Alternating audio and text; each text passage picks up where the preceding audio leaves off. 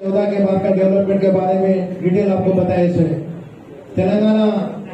भारत देश में सबसे अग्रेसिव स्टेट बोल के आज भारत देश में माना जाता है। भारत देश में एक नीति आयोग के संस्था रहती है प्लानिंग कमीशन प्लानिंग कमीशन ने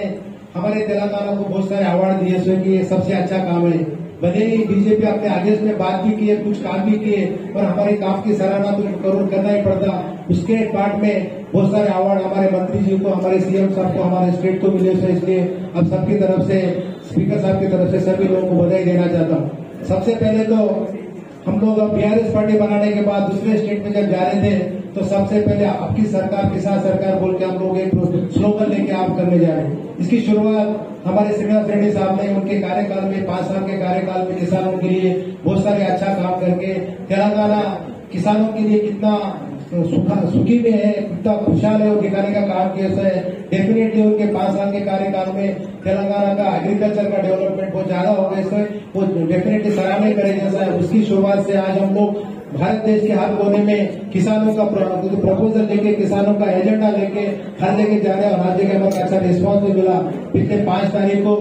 नागेर में एक बड़ी सभा हो गई थी। हम सोच रहे थे कि सभा में क्या रिस्पॉन्स आता। और भारत देश के कोने कोने के सभी लोग मेरे को दिल्ली में असेंबली पार्लियामेंट के टाइम पे मिलके बीआरएस का काम अच्छा है बोल के, हमारी तारीफ़ की इसलिए मैं आप सबकी तरफ़ से सीएम साहब को और सभी मंत्रियों को धन्यवाद देना चाहता हूँ। डेफिनेटली दो हज़ार चौदह के पहले यहाँ पीने के पानी की समस्या रहती थी, खेत के पानी की समस्या रहती थी, बिजली की समस्या रहती थी, रोड की रहती बहुत सारे प्रॉब्लम रहते थे। नारायण जैसे एरिया में जहाँ पे पाँच पाँच किलोमीटर तक पानी नहीं रहता था पाँच पाँच किलोमीटर तक बिजली नहीं रहती थी,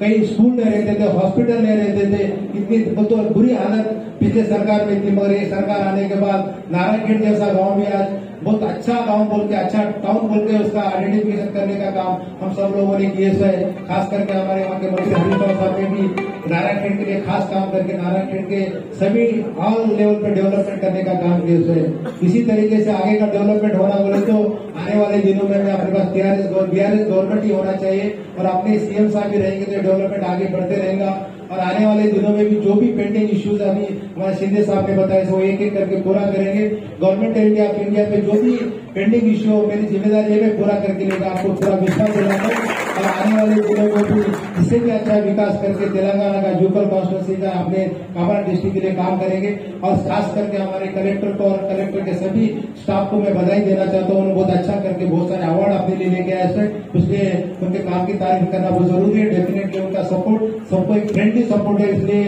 हम ये सब काम कर सकते हैं बहुत बहुत शुक्रिया थैंक यू